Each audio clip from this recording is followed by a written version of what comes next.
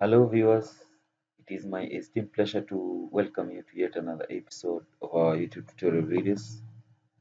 So in this particular tutorial video, I'm going to show you how you can import uh, DWG files into ArchiCAD so that you can be able to edit them in the most uh, customizable way that you wish to have it. So when I talk about customizable uh, areas, I'm talking about uh, cropping, talking about enlarging, and even how you can be able to hide some sections that you wish not to appear in your ArchiCAD files. So before we proceed, I would like you to subscribe to this YouTube channel so that you may not miss any of our upcoming updates and you may also uh, help me to grow this channel to its uh, potential uh, size. So to begin this exercise, I will go to the file menu, then I'll click on that, then I will locate the external content. Once I reach there, then there's another dialog box that will be appearing. So I will uh, go to place external drawing, then I will click on it. Then there is a dialog box that will be appearing again. Then I will be able to select uh, the DWG uh, file that I, I wish to use for this particular exercise. So for me, I will I'll take a ground floor plan, of course, because it's a PDF file. Then I will locate anywhere in the uh, working section. Then I'll click on it and it will be updating. So you can be able to see uh, uh, that drawing that is just appearing on the file. So I'll zoom in just to ensure that you can see it. So for this file, I can be able to play around with it, especially when it comes to editing. So the first thing that I'll do is to, to select it. Then, for example, I want to I want to crop I want to crop the file or the drawing.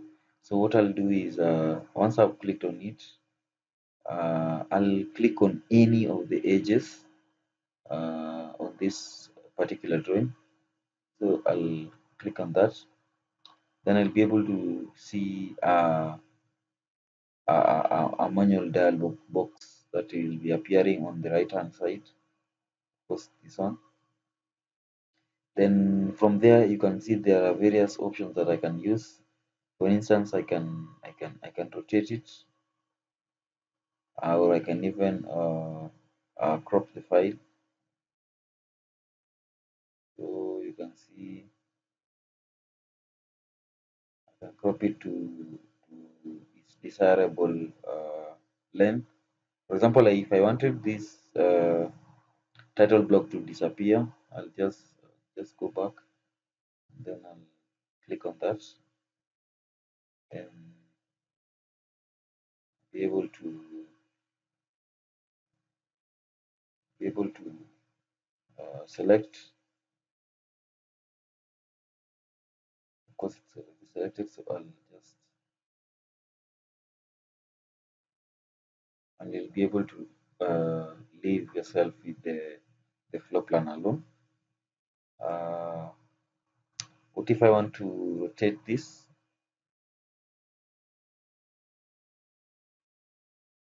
Yeah, so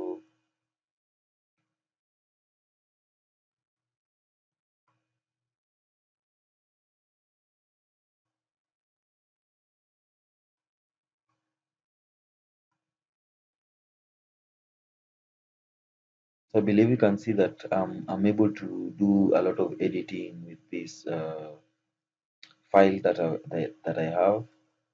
And uh, for that matter, I believe that we, are able to customize any DWG drawing the best of our, of our, of our interest.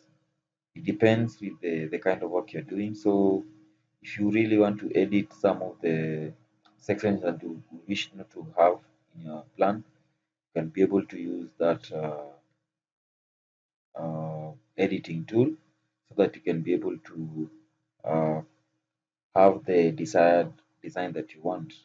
So we've come to the end of this short tutorial video. Uh, please leave a thumbs up for this video, comment, like and even share. And uh, thank you for watching and see you in the next video.